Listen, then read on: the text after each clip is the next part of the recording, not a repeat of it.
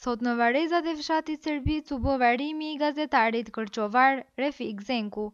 Gazetari Zenku ka ndërruar jetë si pasojë e virusit korona. Ai nga pandemia ishte prekur në pjesën e dytë të muajit tetor dhe për katër javë ka qenë në gjendje kome dhe ka qenë i shtruar në spitalin infektiv në Shkup. Refik Zenku edhe më herët ka vuajtur nga një sëmundje në mushkëri.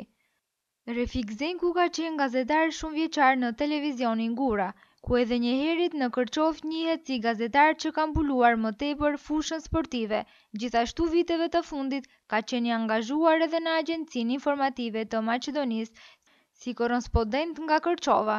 Me rastin e vdekjes së gazetarit Refik Zenku, në adresë të familjes së tij kanë arritur shumë telegrame ngushllimi, si nga vendi ashtu edhe nga shoqata shqiptare që veprojnë jashtë Maqedonisë së Veriut.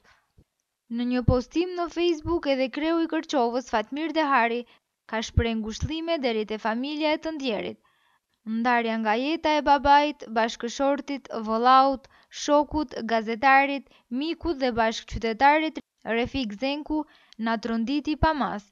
Njihej si njeri i sinqertë, i urtë, i dashur dhe me sjellje shembullore. Përballjen e fundit edhe pse me përpjekje të mëdha nuk arriti dot ta sfidojë. Tani më nuk do ta kemi në mesin tonë gazetarin e dalluar të sportit dhe të rubrikës informative, por me mall do t'i kujtojmë çastet e punës dhe komentimet e ndeshjeve sportive të cilat përmes mikrofonit me pamje filmike na i prezantonte në ekranet televizive duke i bërë ata edhe më tërheqëse.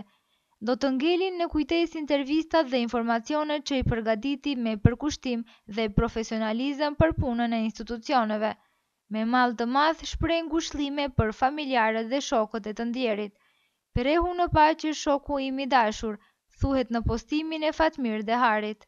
Edhe gjykatësi i Gjykatës Kushtetuese Osman Kadriu nëpërmjet një telegrami ka ngushëlluar familjen Zenku, ku në telegramin ngushëllues thuhet, Ngushëllime të thella për familjen e Refik Zenkut.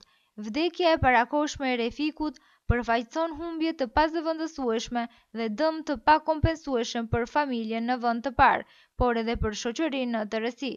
Kontributi i tij në botën sportive, në gazetari dhe në jetën kulturore janë dhe do të ngelin veprat e tij madhështore dhe përfaqëson një përmendore për kulturën shqiptare.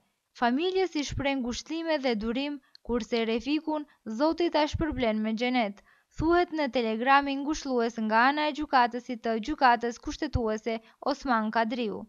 Gjithashtu edhe redaksia e Televizionit Uskana shpreh ngushëllime për familjen Zenku, miqtë dhe kolegët e të ndjerit.